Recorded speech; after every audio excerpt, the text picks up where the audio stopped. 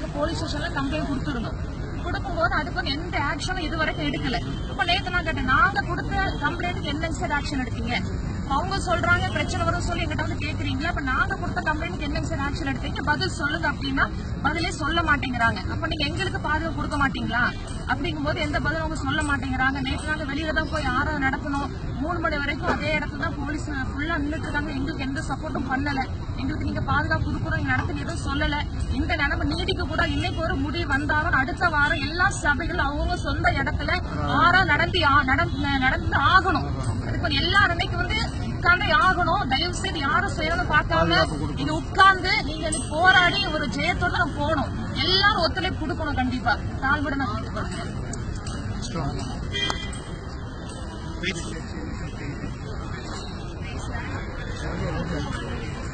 அரசு கடந்த மே மாதம் மூணாம் தேதியில இருந்து தொடர்ந்து பிரச்சனை மேல பிரச்சனை பண்ணிட்டு சர்ச்சை வந்து க்ளோஸ் பண்றாங்க. ஆட்களை வந்து அடிக்கிறாங்க.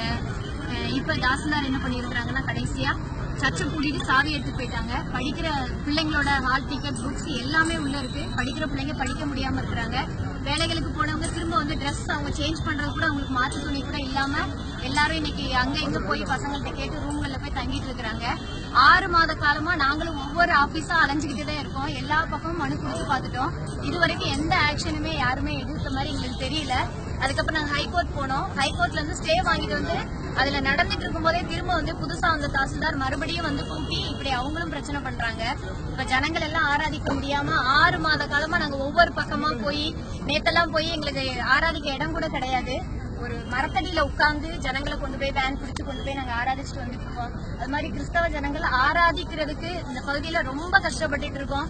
அதனால எல்லாருமா சேர்ந்து இந்த ஆராதனை தடையில்லாம நடக்கிறதுக்கு ரெண்டாவது அந்தந்த சபைகள்ல ஜனங்கள் விடுதலையோடு கூட ஆராதிக்கிறதுக்கு எல்லாரும் உங்களுடைய ஒத்துழைப்பை கொடுத்து உதவுமாறு கேட்கிறேன் இங்க இருக்கக்கூடிய அதிகாரிகளை வச்சு பேசிக்கலாம் அப்படின்னு சொல்லி சொல்லியிருந்தாங்க. அவங்க வந்து யாரும் வந்து வந்து திரும்ப எஸ்பி கிட்ட போய் ஒரு மனு என்னன்றதை சொல்லுவாங்க அப்படின்னு சொல்லி சொல்லியிருக்காங்க. இப்போ அதே மாதிரி உள்ள போன அதே தலைவர்கள் மீண்டும் நாங்கள் எஸ்பியை பார்க்க போறோம். ஆளுக்கால் பேட்டி கொடுக்கிறதோ அவசரப்படுறதோ ஆளுங்கப்பட்டு தயவு செய்து இந்த காரியத்தில் எந்த ஒரு முரண்பாடான காரிய கருத்துக்களை வெளியே சொல்லிடாதீங்க. தவறான வார்த்தைகளை உபயோகப்படுத்தாதீங்க. அதிகாரிகளுக்கு பொறுமையா நிதானமா பேசி நம்ம இந்த சபைகளுக்கு தீர்வு காண்றதுக்காக தான் எல்லாரும் முயற்சி எடுத்துட்டு இருக்கிறோம் உங்களுக்கு இருக்கிற அதே ஆதங்கமும் வேகமும் எங்களுக்குள்ள இருக்கு. தயவாய் புரிஞ்சுக்கிட்டு இந்த தீர்வு காண்பதற்கு நீங்க எல்லாம் ஒத்துழைப்பு கொடுக்கும்படி கேட்டுக்கொள்கிறேன்.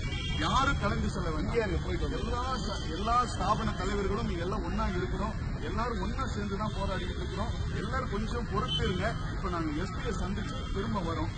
நம்ம அடுத்த கட்ட நடவடிக்கை என்னன்றதை குறித்து இன்னைக்கு தீர்வு காணும்படி நம்ம எல்லாரும் முடிவு பண்ண போறோம். கொஞ்சம் பொறுத்து இருக்கும்படி உங்களை அன்போடு மீடியாவும் குறித்தோ நாடு குறித்தோ. நமக்கு அது பாதகமா முடிஞ்சு நமக்கு பொறுமையா இருக்கும்படி நீங்க அன்போடு நிறுத்துங்க. இப்ப நாங்க உள்ள போன அதே ஆட்கள் நாங்க போய் திரும்ப எஸ்பியை சந்திச்சு திரும்பி வரோம். என்ன நிகழ்ச்சி? எப்படி சொல்றோம். அது வரைக்கும் பொறுத்திருக்க முடியும். அன்போடு கேட்டுக்கொள்கிறோம் யாரும் கலைஞர் சொல்ல வேண்டாம். நீங்க யாரும் பேசுறதோ எதுவும் செய்யும் நாங்க அவங்க சந்திச்சு திரும்ப அப்புறம்